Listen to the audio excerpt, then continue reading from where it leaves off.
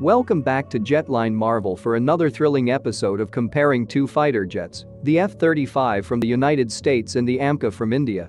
This comparison is solely for the purpose of understanding how AMCA appears after completion, from the table drawing to real life.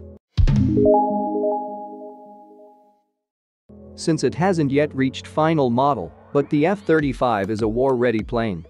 The AMCA differs from the F-35 fighter jet in that it does not have vertical takeoff and landing. But, most importantly, AMCA may begin production and service in 10 to 15 years. Lockheed Martin manufactures some of the highest quality defense goods in the world, and the F-35 is one of them. HAL is a well-known Indian plane manufacturer. Let's have a look at the aircraft's size and performance. The AMCA is 57.9 feet long, while the F-35 is 51.4 feet long. The AMCA has a 36.6-foot wingspan, whereas the F-35 has a 35-foot wingspan. The AMCA is 14.9 feet tall, while the F-35 is 14.4 feet tall. The AMCA has an empty weight of 12,000 kilograms, whereas the F-35 has a weight of 13,290 kilograms AMCA has a gross weight of 18,000 kilograms, whereas F-35 has a gross weight of 22,471 kilograms. The AMCA has a fuel capacity of 6,500 kilograms, while the F-35 has a capacity of 8,275 kilograms. The AMCA is propelled by two modified GE or Safran engines that will be installed in aircraft. The F-35 is propelled by a single Pratt & Whitney F135 afterburning turbofan with a thrust of 125 kN dry and 191 kN afterburner. The AMCA is a stealth supersonic multi-role fighter with twin engines built for the IAF. The AMCA is currently envisioned as a fifth-generation fighter, but it will eventually include emerging, best-of-breed sixth-generation technologies.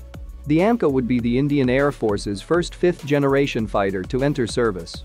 The F-35 is a stealth multi-role fighter with a single engine and supersonic speed. Low observables, modern avionics, and sensor fusion are all features of the F-35, allowing for a high level of situational awareness and long-range lethality. The F-35's human-machine interface relies heavily on the helmet display, Rather than the preceding fighter's head-up display positioned atop the dashboard, the HMDS displays flight and battle information on the helmet visor.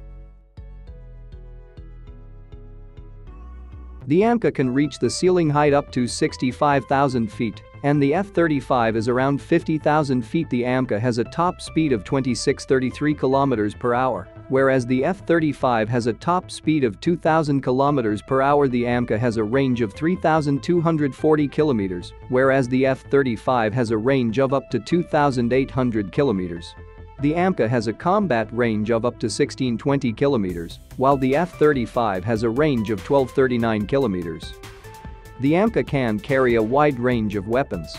The 14 hardpoints with a capacity of roughly 9 tons and a single 23mm cannon it carries S-8 rocket pods, Astra Mark 1, 2, 3, and NGCCM air-to-air missiles, and BrahMos NG, SANT, and Rudram air-to-ground missiles.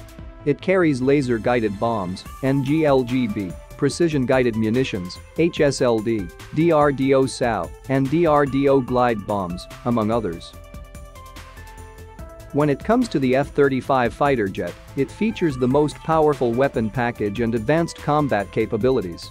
The F-35 has a single 25mm cannon, 4 internal hard points, and 6 external hard points, it has a total weapons payload of 6,800 kilograms. It carries AIM 120, 9X, 132, and MBDA Meteor air-to-air missiles. Surface-to-air missiles Joint air-to-ground missiles, AIM-88G, AIM-158, Spear-3, air-to-surface and air-to-ship missiles. It is capable of carrying bombs such as Joint Direct Attack Munitions, Paveway Series, AIM-154, and B-61 Mod. The F-35 costs roughly $125 million, with the AMCA yet to be determined. Please share your thoughts on both fighter jets. Will the AMCA be able to obtain the fifth generation tag? Let us know in comments. Please subscribe if you are new to our channel.